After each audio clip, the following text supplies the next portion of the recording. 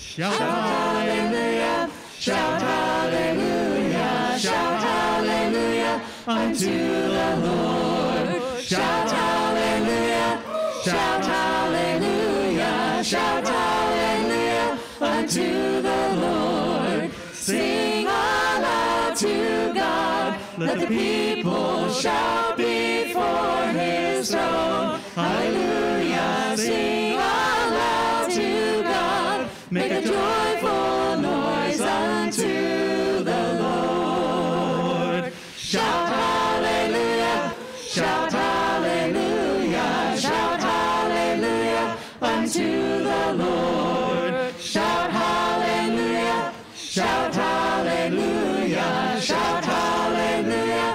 unto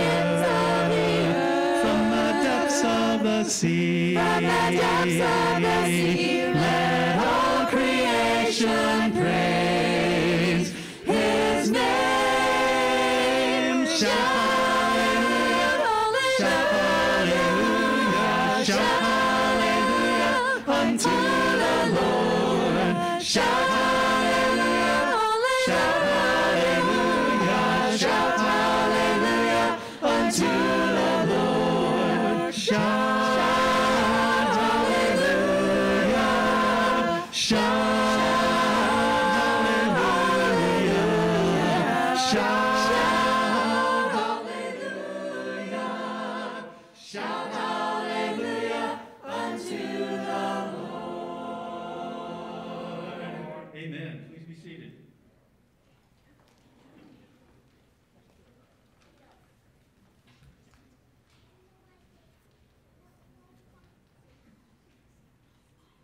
Morning, everyone. For those of you that know, don't know my name, my name is Trish. Welcome. We're so glad you guys could join us today to sing some songs of praise, to take part in communion, and then later on to listen to uh, his word and a message from Jacob. If you haven't already gotten your communion elements, you can find them in the lobby. Uh, we're asking that if you have any prayer requests, to please send them to office at trivalleychurch.org, or you can also go onto our website. Also, a reminder that the giving or your offering can be done on our website. It could also be sent by mail, or in the back right there, there is a box where you can uh, drop those off. A reminder that this Saturday, October 9th, at 8 o'clock at Bernal Community Park, there's going to be a fundraising event for Healing Hands International. This is a joint event with the Pleasant View Church of Christ, so look in the bulletin for more information. And lastly, we're looking for some volunteers to work a couple hours in the church office, so if you are available to do that, please see Jacob. Thank you.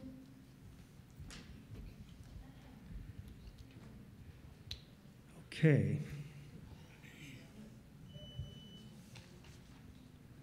Our next song is Behold Our God.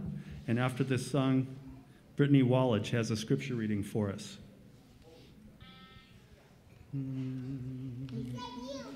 Who has held the oceans in his hand? Who has numbered every grain of sand? Kings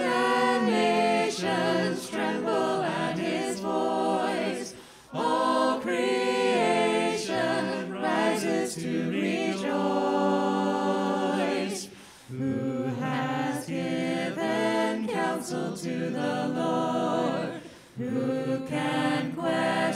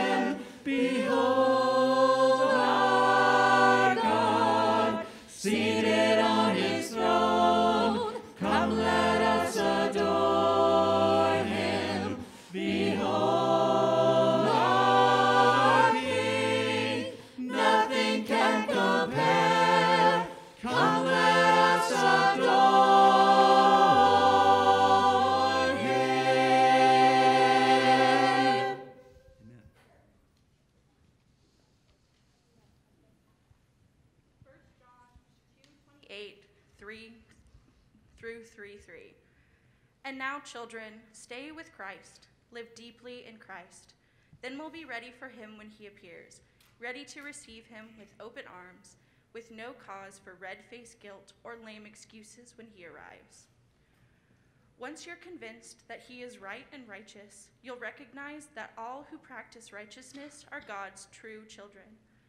What marvelous love the Father has extended to us. Just look at it. We're called children of God.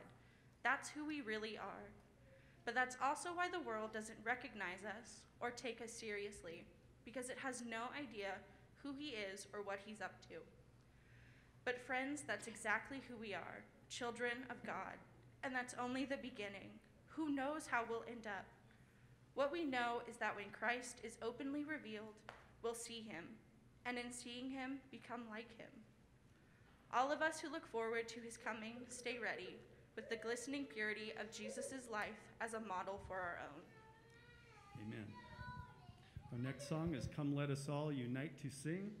After this song, Dave Yeamans will lead us in prayer. Come,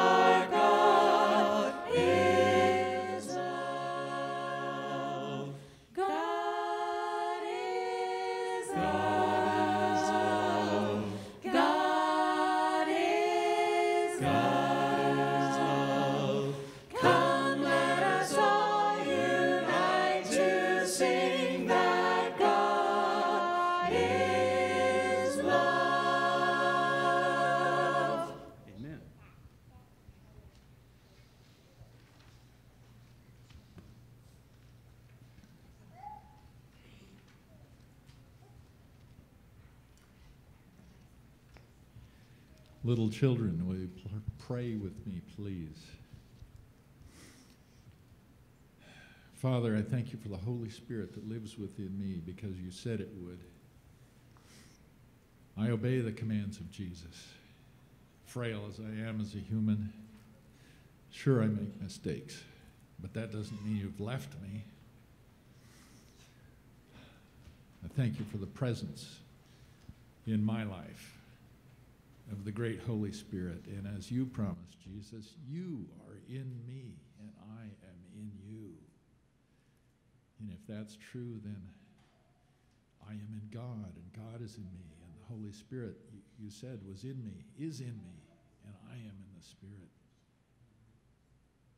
I thank you so much for being the one who speaks through me. So I don't have any, don't have to make any lame excuses. I am your little child. And I, I relish the love that I've been given. Not only as a gift to me, but as a gift I can give to others. I thank you for the way that you show me to speak for you, for your glory. What a blessing to have this confidence, this transformed life. I just need no embarrassment. Just feel the Spirit as I deal with people. And thank you, Lord, for this uh, great treasure that we all have. I pray for our frailties. They're there. We sin. And we are forgiven. It is the love that you have for us. Please give us opportunities to uh, do everything in your will the praise, the pleas for our dear brothers and sisters who are struggling with various health issues. I know that many of them feel the peace of God within them. And that's my prayer for them too, that they have that peace. Forgive us as we uh, fail you in the future, as we go forth and ignore the opportunities or just plain don't recognize them. Asking for new eyes to see the new opportunities. Thank you for this in Jesus' name. Amen.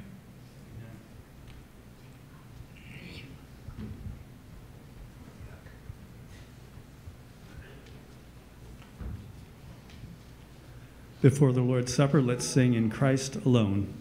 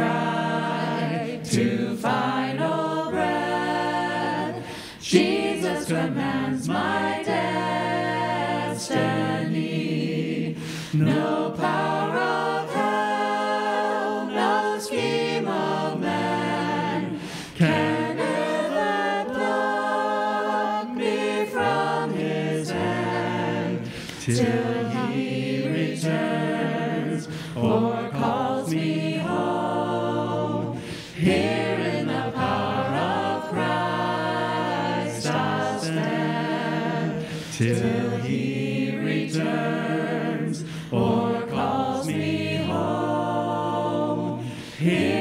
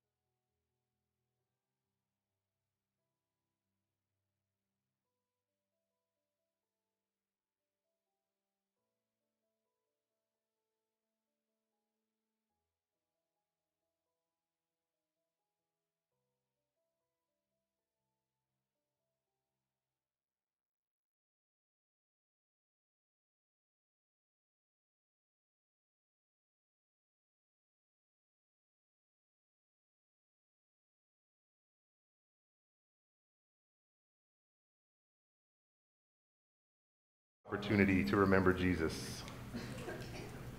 We thank you for the life of Jesus. We thank you for the heart of Jesus. Thank you for his words, his commands, his words of life that can guide our lives and give us life even today. We thank you for the fellowship that we have in communion, that we are all guests at the table of Christ. And that as the song says, we were bought with his precious blood. He reserved a seat at the table for us and made the sacrifice so that we can be in a restored and renewed relationship with you. We're so thankful for that. Our songs are joyful this morning because our hearts are joyful for the salvation that we have in Christ. As we reflect on that, I pray that it will animate us and empower us to go into the world this week and to do good works in the name of Jesus Christ. We ask this, we pray this, and we offer our thanks in his holy name. Amen. Good morning, folks. My name is Jacob Parnell, and I'm the preaching minister here. At this time, I want to go ahead and dismiss our young children to head over to kids' worship. We do this every week during the sermon time. Rod's got a comment. Oh, yeah, if you have uh, garbage, uh, there's some folks coming around with uh, little trash cans. Is that what you were indicating? Is there more? We have. Oh, yeah. Uh, you can go ahead and participate in that now. Kiddos can go over to the Family Life Center for their Bible lessons. I want to give a big thanks to Kelly and to Robert, who are our kids' worship teachers this fall. Can we give a, a applause of thanks to them? I am thankful for them and uh, having kids in the program myself. I'm so glad for what they're doing over there. It's great. They're getting to, to know the Bible, to know how God works, to, to get to worship together and be with kids their own age. So they're still there. Thank you, Kelly. Thank you, Robert. You guys are awesome. Uh, a couple other quick reminders that uh, things that Trish mentioned a little bit earlier. Uh, we, we, we, thank you guys for your, your financial contributions to the congregation to enable us to continue to do the good works in the name of Jesus. And if you'd like to make a contribution, if you'd like to participate in giving, there's three ways to do that. You can uh, write a check to and put it in the box back there, or uh, mail it into the church, or you can always go online and give digitally. It's fancy and amazing all these things we can do with our phones these days. So thank you guys for your faithful contributions. And then she also mentioned the Walk for Water. This is something that we've been advertising. It's been in the newsletter. It's been here up on the screen and online uh, for the past month or so. And it's a joint effort between the Tri Valley Church of Christ and the Pleasant View Church of Christ. Uh, my buddy over there, Chris Kearney, is the minister. They did this fundraising event, well, I don't know if it was last year, but they did it uh, a couple of years ago. COVID kind of throws everything off. Um, but they meet at the park and then they walk. And it's to, to fundraise for people in the world who don't have fresh water. And the money that we raise is going to drill a freshwater uh, dr- uh, well and help out some people on the other side of the globe. So if you want to participate in that, you can go online and you can register. If you register, you get a cool t shirt that says Walk for Water. Whether or not you think you can do the walk, it's two miles there and two miles back. Uh, you can still show up and you can hang out. I've got a bum knee. I'm still getting over an injury. I don't know if I could do all four miles, but I'm going to go there and I'm going to clap for people and I'm going to encourage folks and I'm going to try to help raise funds for this uh, good cause. So, this coming Saturday morning, if you're able to make it, please come out and join us at Bernal Community Park over in Pleasanton. Uh, anything else? Did I forget anything else? Yes.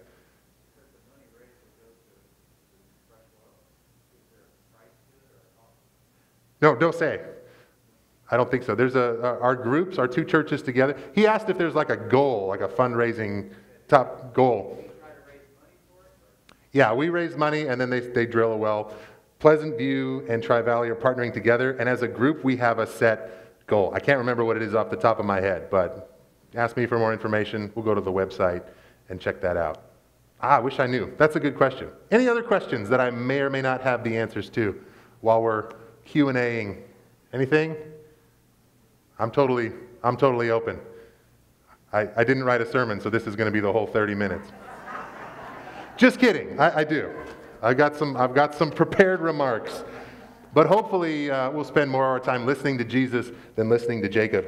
We're in a series called Words of Life, uh, the commands of Jesus. And we've been just hearing the things that Jesus commanded his followers. What, what are we supposed to do? What does it look like to be faithful to Jesus? And this morning we are going to hear him say, Remain in me.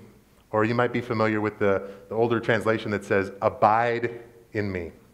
So let's listen to the words of Jesus now from John chapter 15. Jesus says this I am the true vine, and my Father is the gardener. He cuts off every branch in me that bears no fruit while every branch that does bear fruit, he prunes so that it will be even more fruitful. You are already clean because of the word I have spoken to you. Remain in me, as I also remain in you. No branch can bear fruit by itself, it must remain in the vine. Neither can you bear fruit unless you remain in me. I am the vine, you are the branches. If you remain in me and I in you, you will bear much fruit. Apart from me, you can do nothing. If you do not remain in me, you are like a branch that is thrown away and withers. Such branches are picked up, thrown in the fire, and burned. If you remain in me, and my words remain in you, ask whatever you wish, and it will be done for you. This is to my Father's glory that you bear much fruit, showing yourselves to be my disciples. Jesus gives the command to remain nine times in this chapter. Remain in me, remain in the vine, remain in my love, remain in my Father's love. He is telling us something is important about this concept for us to remain in Him. Stay with me. Like I said, some, some older translations, the old KJV and I think the ESV says, abide with me. I think that's a helpful word for us to understand what is Jesus talking about here.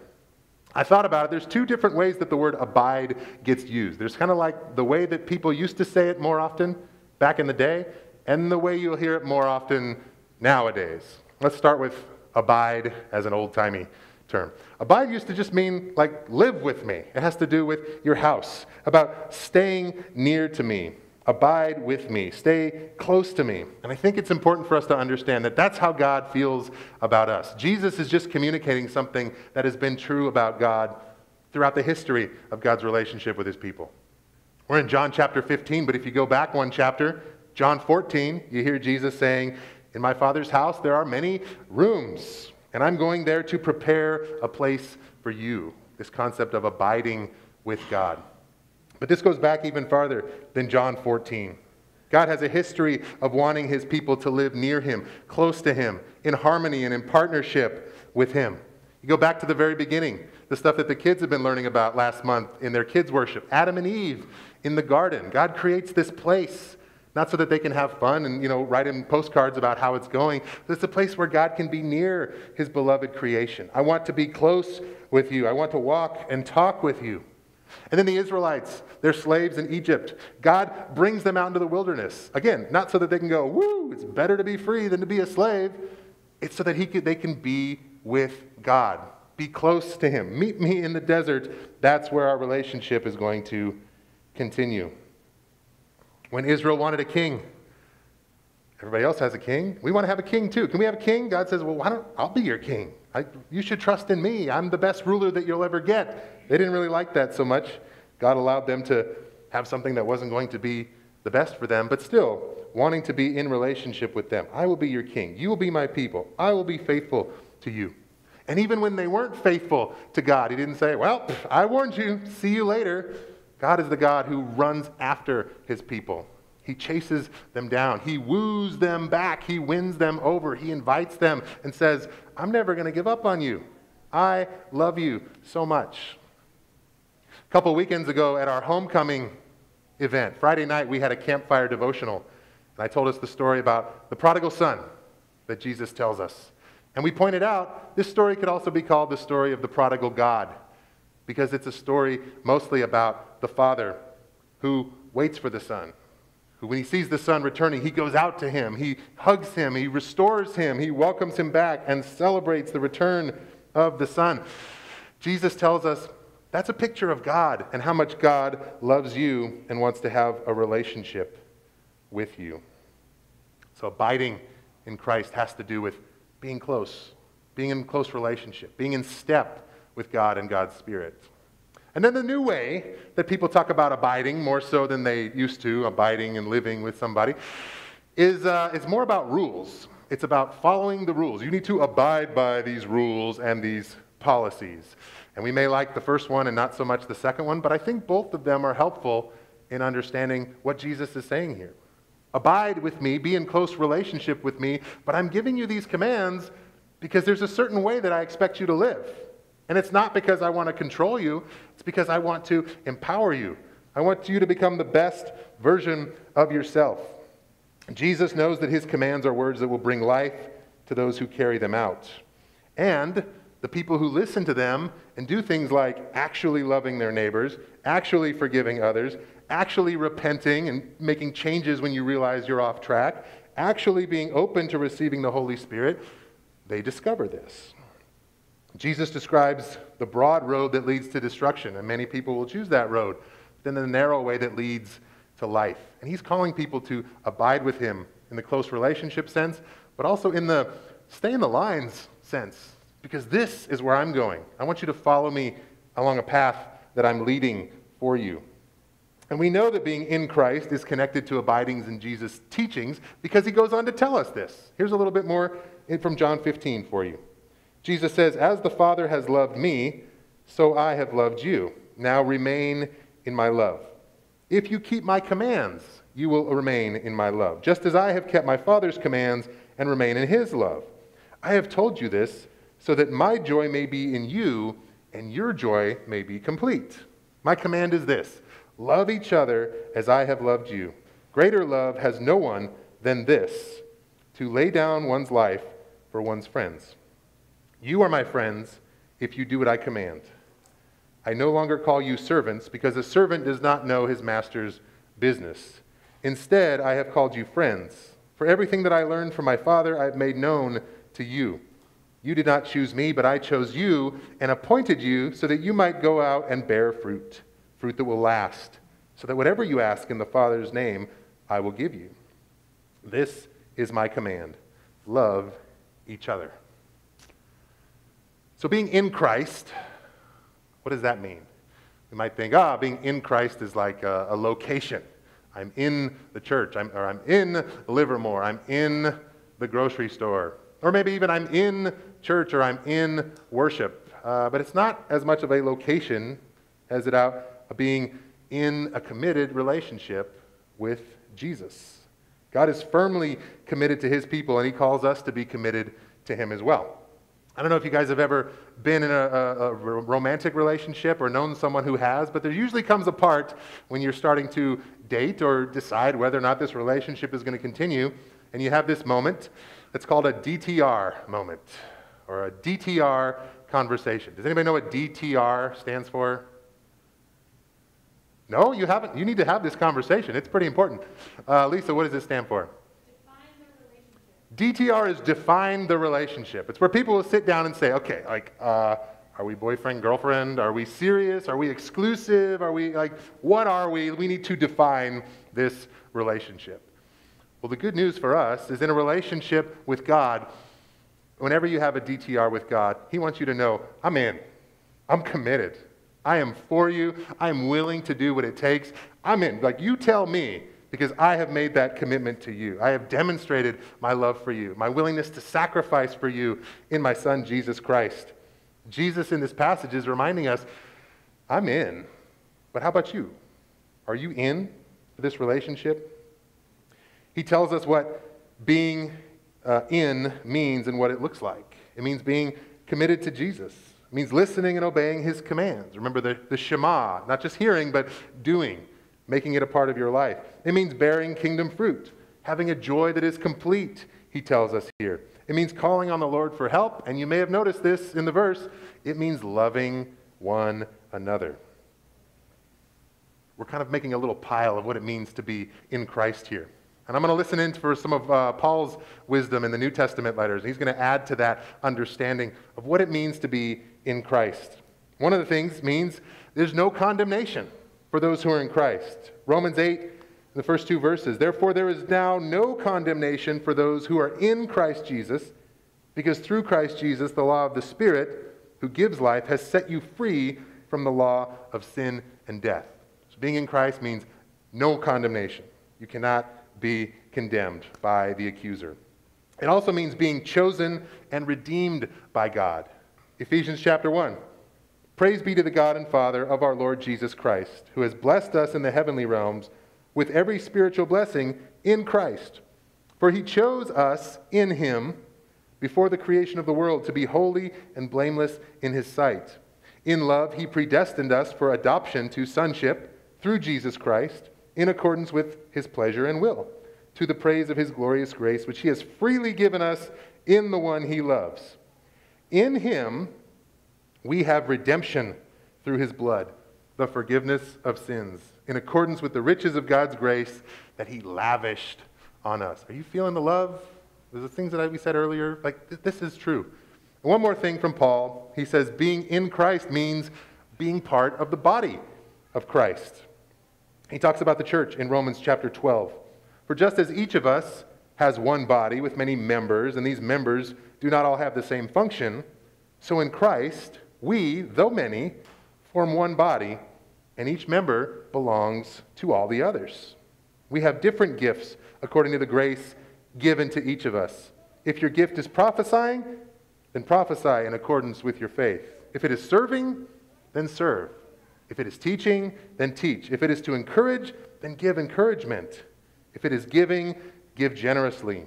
If it is to lead, do it diligently. If it is to show mercy, then do it cheerfully. Okay, got kind of a nice little pile here. Being in Christ sounds like a pretty good thing to me. This sounds like something you should want to be in.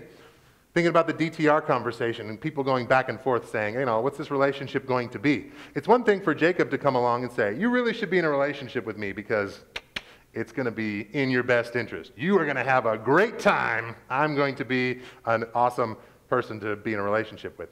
That sounds a little bit arrogant. That sounds maybe a little bit desperate.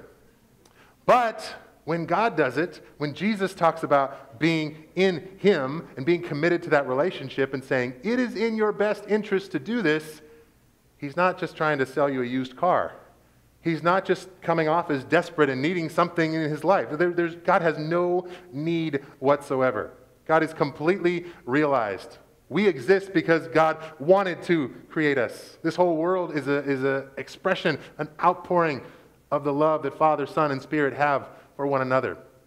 I'm sorry if this bursts your bubble a little bit. God does not need you, but He chose you. He loves you, and He's committed to you. And when God says, it is in your best interest to be in Christ, he is just stating a fact. This is the best relationship you will ever have. It is something that you will quite literally be lost without. Christians are people who have said yes to that offer, to being in Christ, to following Jesus. And once you've done that, the call then is to remain in Christ. And you'll notice when we heard from John 15, Jesus uses this image of branches and a vine, and the difference between a branch that is connected to the vine and one that is separated from the vine. He talks about pruning, and we'll get to that in just a second. I've got, I've got a, a branch here that is disconnected from its vine. I found this out in the yard. This maybe was green at one time. These uh, branches were maybe flexible at one time, but now it's kind of just, they snap off. I'm going to hold this close to my microphone and maybe you'll be able to hear this, but can you hear what this sounds like?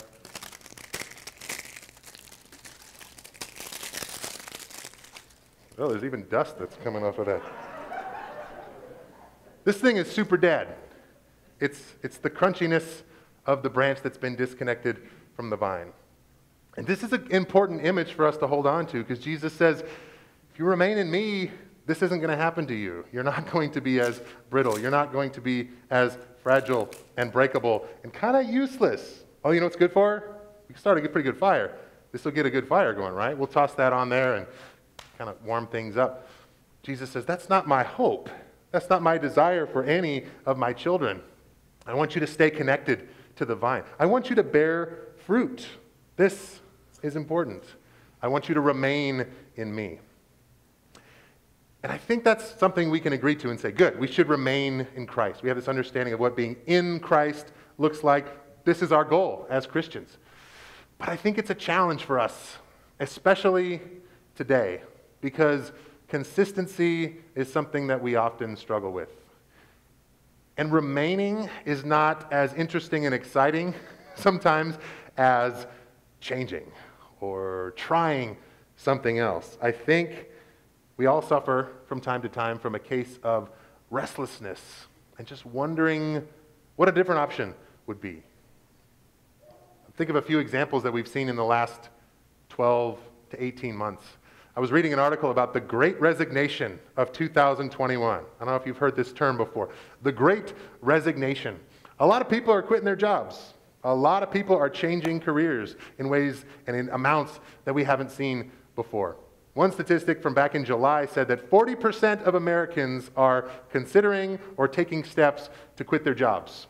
And that is, that is huge. That is a major change. I think the events of the last 18 months have made a lot of people realize, I, I don't want to do this anymore. Or, like, I've always wanted to do this, but I've never stepped out and done it. A lot of people are just doing it, they're going for it. There's this major shift that's happening in uh, career paths.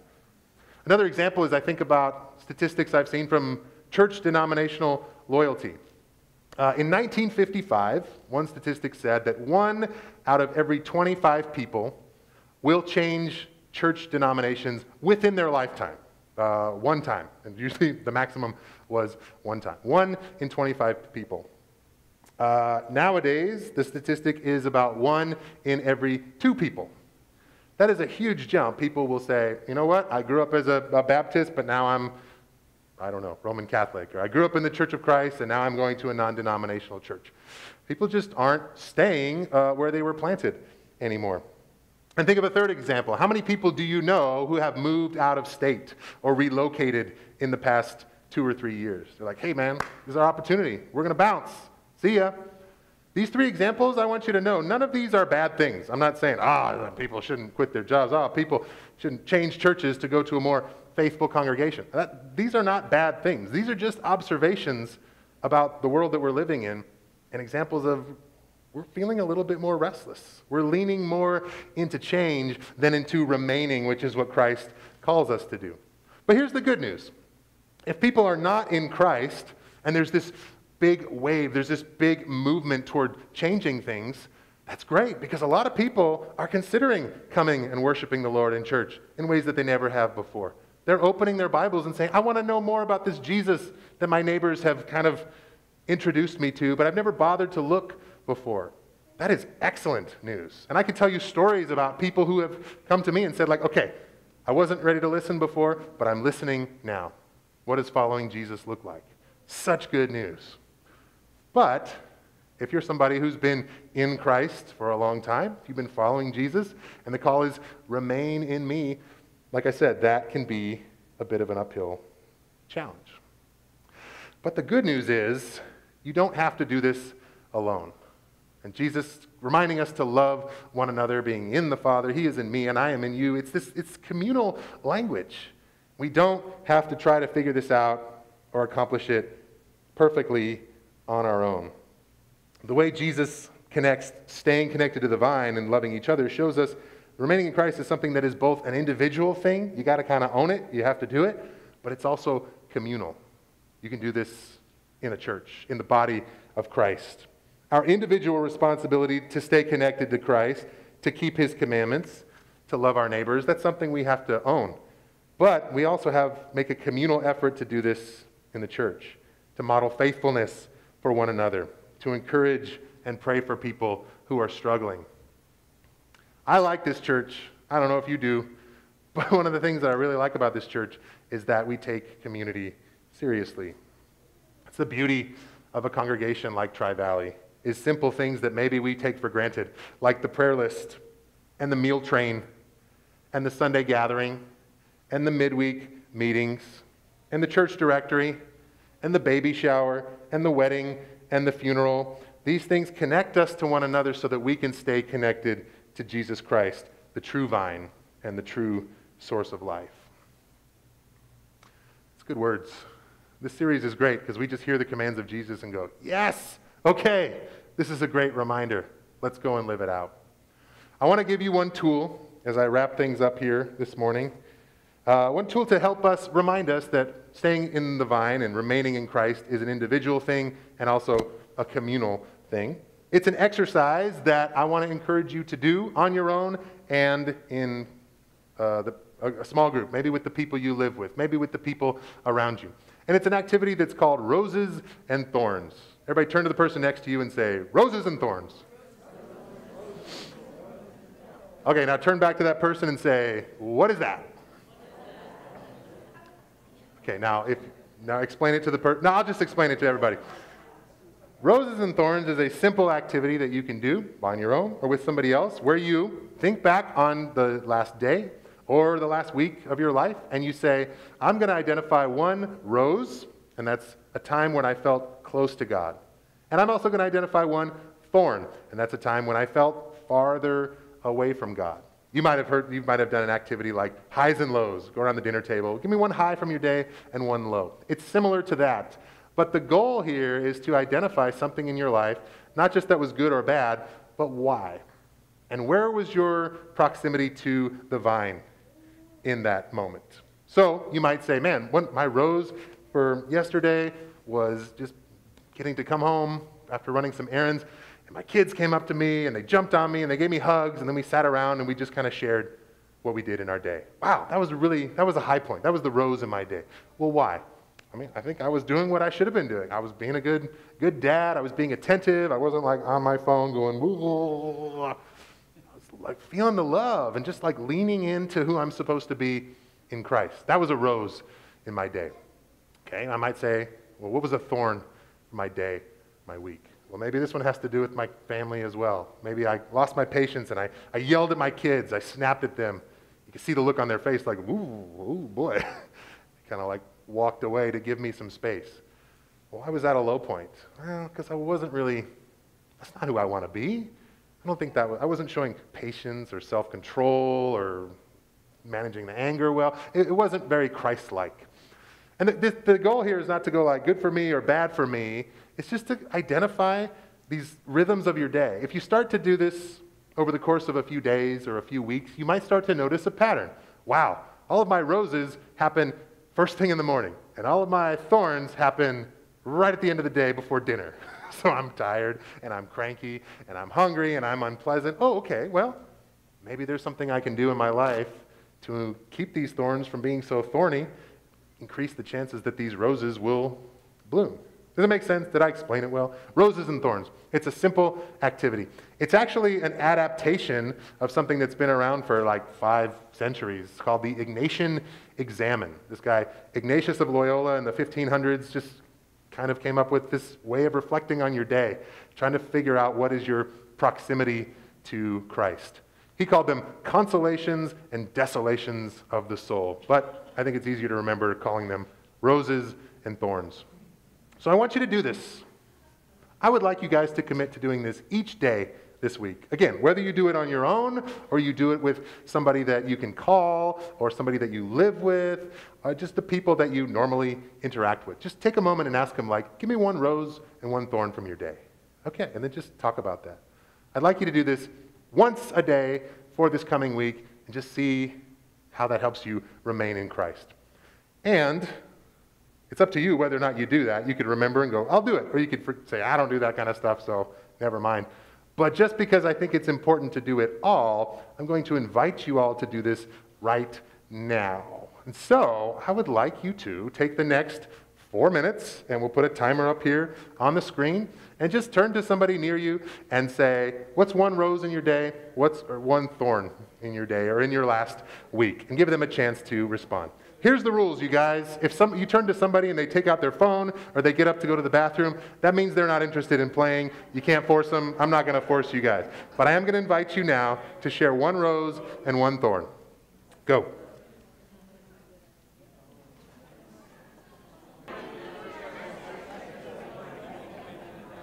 You guys for, uh, for, for doing this activity. See how simple it is? Uh, identify those those roses, those things that make it make you feel closer to God, and those thorns, those things that make you feel farther, and try to figure out why. Um, you guys are awesome. I appreciate you. Let, let, me close this out in prayer, and while the praise team makes their way back up here, gets ready to lead us in our, our last song this morning. God, uh, thank you for Jesus, the true vine. I believe that his words are true. I believe they're worth remembering uh, and memorizing and. Uh, putting to practice in our lives. Give us more roses. Let us be intentional about leaning into you, to drawing close to you, and, and remaining in Christ. And uh, help us to work on those thorns. Help us to uh, hear each other's thorns, these, these words of confession saying, hey, we don't have it all together. We don't have it all figured out, but we want to be more like Jesus. So, God, give us opportunity, courage, and your Spirit's empowerment to help us do that on a daily basis. Uh, may your kingdom come and your will be done on earth as it is in heaven. In Jesus we pray. Amen.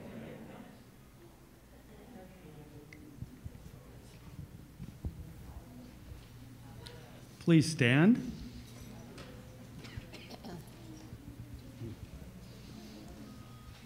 Do me Softly and tenderly, Jesus is calling, calling for you and for me. See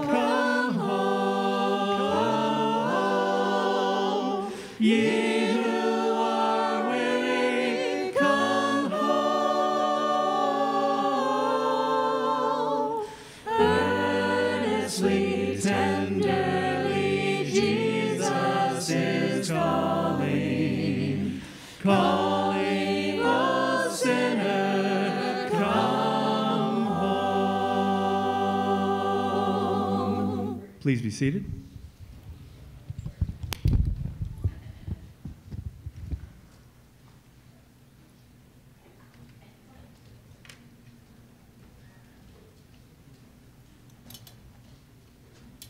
This time we're going to have um, prayers, and I'm going to share with you some of the prayer requests that have come in this week.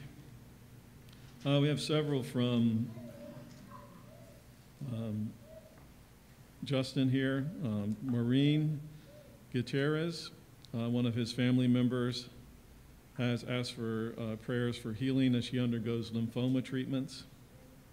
And then his aunt, Tia Emilia, uh, just lost her husband after almost 75 years of marriage. And it says, Praise God for their long life together, but also for comfort for, for his aunt in this time of her loss of her husband and partner. And then uh, I guess we also had uh, this morning, Trish, several of your family members have come down with COVID, including your mother. Uh, so we need to continue to pray for uh, that family. I guess mother and a couple sisters, maybe. Yeah. So uh, keep all Trish's uh, family in prayer as they uh, deal with the COVID. Also, we're, I think all of us are aware that Darren McRandall is in the hospital struggling with COVID and uh, just still having a very difficult time. Uh, he is on a ventilator now to help him breathe as well as being um, on a feeding tube. So things are still very serious there. We need to keep uh, not just Darren in our prayers, but the whole McRandall family. And there'll be more information in the prayer requests that come out this week uh, about that. But continue to pray for them as well as uh, the doctors and nurses that are caring for uh, Darren and just uh, the many decisions that uh, Sandra has to handle at home now, things that she's not been familiar and comfortable with that she's having to make decisions about. Uh, so just keep keep them in the prayer, in our prayers. Uh, Jan Hignan asks that we pray for Al's niece, Debbie Santalinas. Jan says that's close enough. Uh, she had surgery on Thursday to remove kidney stones. Uh, also with COVID, um, Levon Seibert asked us to pray for her daughter-in-law, Sandra, uh, who has COVID. And then also, um, Levon and her sisters had a recent kind of sisters reunion, and several of her sisters have come down with COVID. I'm not, I'm not sure if Levon has it or not. She does say in her request, we all feel pretty good so far. So I don't know if that means that she also has it and uh, they just aren't having severe symptoms at this point. But let's continue to keep uh, and her family in our prayers. And let me double check. I think I may have one more.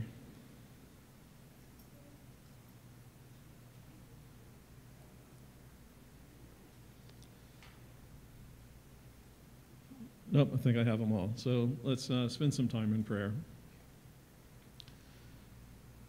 Our dear Heavenly Father, our God, our healer, Father, we're humbled in your presence, uh, knowing that we are in your hands.